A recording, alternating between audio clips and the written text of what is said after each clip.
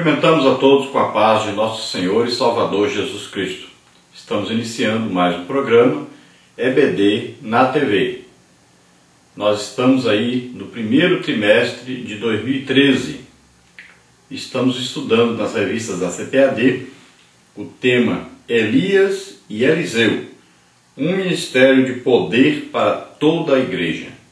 Nós temos nesse trimestre como comentarista o pastor José Gonçalves.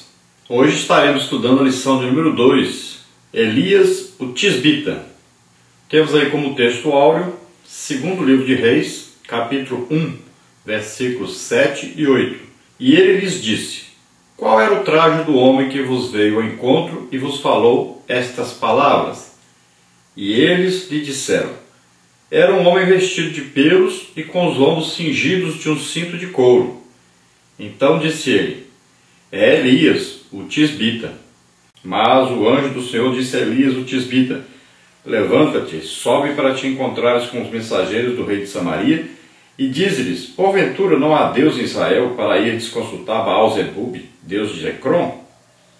E por isso assim diz o Senhor: Da cama que subiste não descerás, mas sem falta morrerás. Então Elias partiu. E os mensageiros voltaram para ele, e ele lhes disse: Qual era a aparência do homem que veio ao vosso encontro e vos falou estas palavras? E eles lhe disseram: Era um homem peludo e com os lombos cingidos de um cinto de couro. Então disse ele: É Elias, o tisbita. Glória a Deus. Veja bem que aqui o rei Acasias havia caído, se machucado, estava doente. Já era depois da morte de Acabe.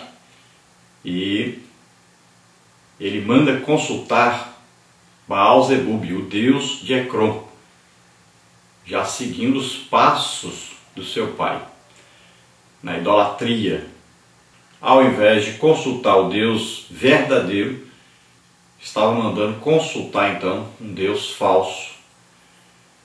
Mas a palavra do Senhor veio então a Elias, e Elias encontra os mensageiros que estavam indo ao Deus Baal-Zebub, e então Elias diz para eles: Não há Deus Israel para vocês consultarem? Por que consultar um Deus falso?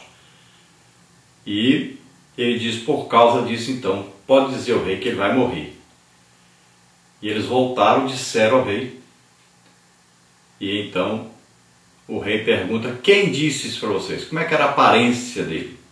Então eles dão a descrição aí do vestuário o tipo de pessoa que falou com eles, e então ele identifica: olha, esse é Elias, o Tisbita.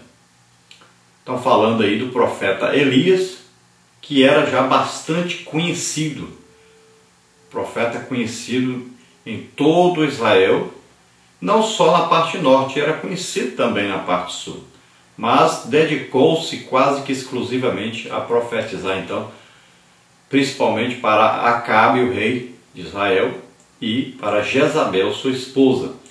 E ele se dedicou também a uma escola de profetas, pelo que nós podemos deduzir da palavra do Senhor. Então ele seria ali como um professor naquela escola de profetas.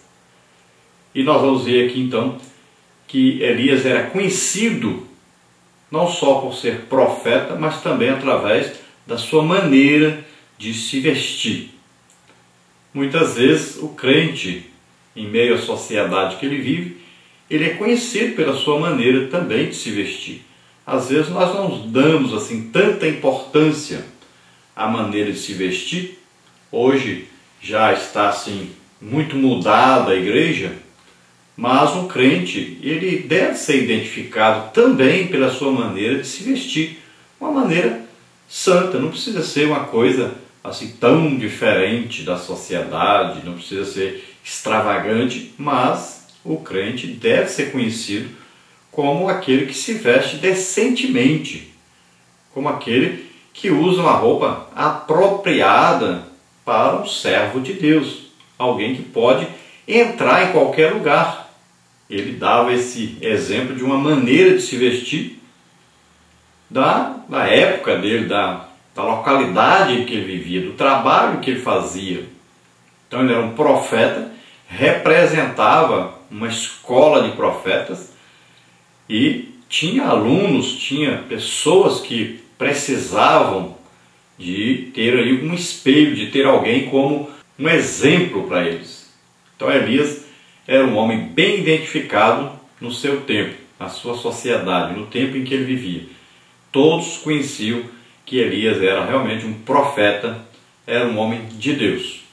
A nossa verdade prática diz aí: a vida de Elias é uma história de fé e coragem. Ela revela como Deus soberanamente escolhe pessoas simples para torná-las gigantes espirituais. Então, Elias é um exemplo de fé e coragem e um exemplo de uma pessoa que sai de um lugarejo, lugar como Tisbe, um lugar distante, um lugar afastado, quase que não conhecido, quase que nunca citado na Bíblia na nossa Bíblia, somente aqui nós vamos ver essa citação, na Bíblia Católica Apostólica Romana, tem lá uma citação também. E fora disso, não vemos na Bíblia outra citação dessa cidade ou desse lugarejo chamado Tisbe, que ficava aí em Gileade. Mas o importante sabermos que Elias se destacou em sua época, mesmo sendo deste lugar.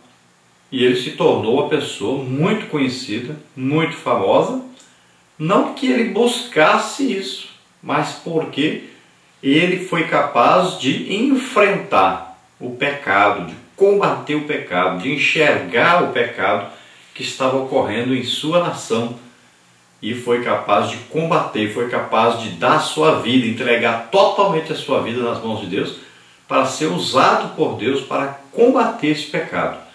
E era uma época em que Satanás estava usando de todas as suas forças.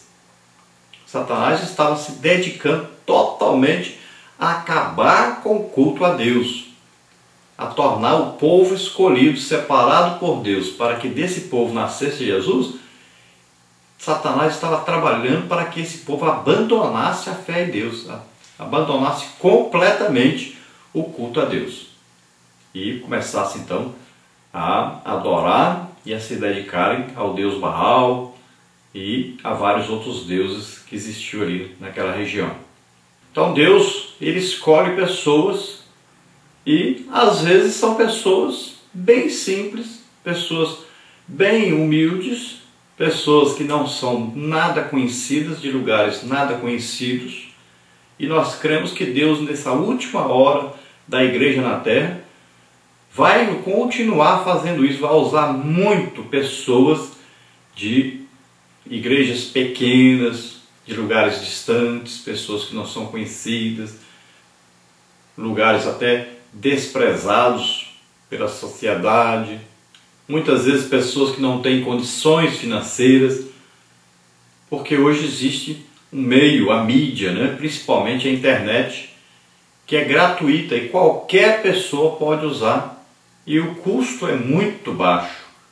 Então Deus vai começar a usar cada dia mais e já está usando. Basta ver hoje nós quantas pessoas estão aí colocando seus estudos bíblicos na internet, seus vídeos, né?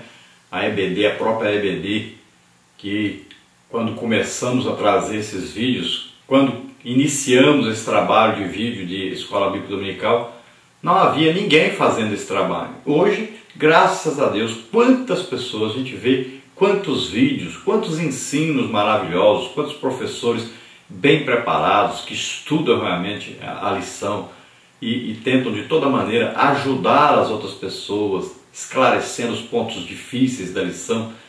E nós temos hoje uma fartura, uma abundância muito grande. Qualquer professor de escola bíblica dominical pode acessar aí tantos vídeos gratuitos tantos estudos gratuitos pela internet e aprender realmente a lição e poder levar o seu aluno a um ensino realmente importante, bem dado. Então, graças a Deus, como Deus tem nos abençoado aqui no Brasil e muito diferente de outras nações que não têm esse acesso tão fácil assim ao estudo da palavra de Deus. Então, você que está nos ouvindo, que está nos assistindo, você também é convidado a fazer parte desse trabalho. Coloque o seu trabalho, disponha aí algum tempo para estudar a palavra de Deus, coloque também os seus estudos, seus ensinos, seus vídeos, coloque na internet, disponibilize para aqueles que não, não têm acesso a livros, não têm acesso a um bom estudo da palavra de Deus. Então você faça isso também.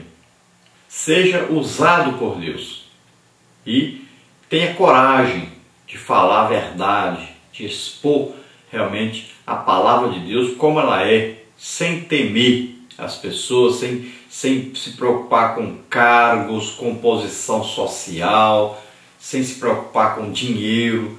Então faça a obra de Deus, dedique-se, entregue realmente a sua vida a Deus para que Ele possa te usar grandissimamente poderosamente. Mas lembre-se também de se colocar nas mãos de Deus, se entregar realmente a Deus para que seja usado por Deus para fazer, não só ensinar a palavra de Deus, mas para praticar a palavra de Deus e também para ministrar as maravilhas de Deus, os milagres de Deus às pessoas.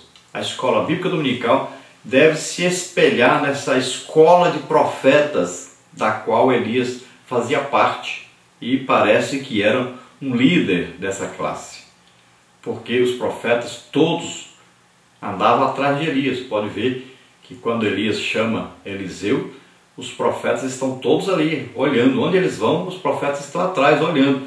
Elias era a autoridade dos profetas, era conhecido e, pelo que nós deduzimos, era ali o principal professor dessa escola de profetas e um exemplo de coragem e de fé para todos aqueles alunos. Então, você, professor da escola bíblica dominical, Seja também um exemplo para todos os seus alunos, para toda a igreja.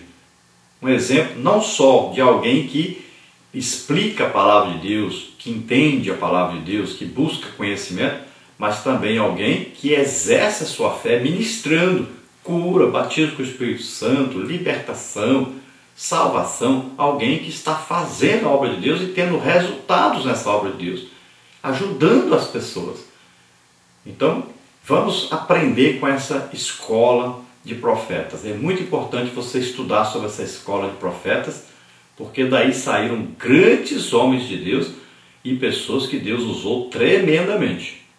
Então nós vamos ver o exemplo principal aí, Elias, o profeta.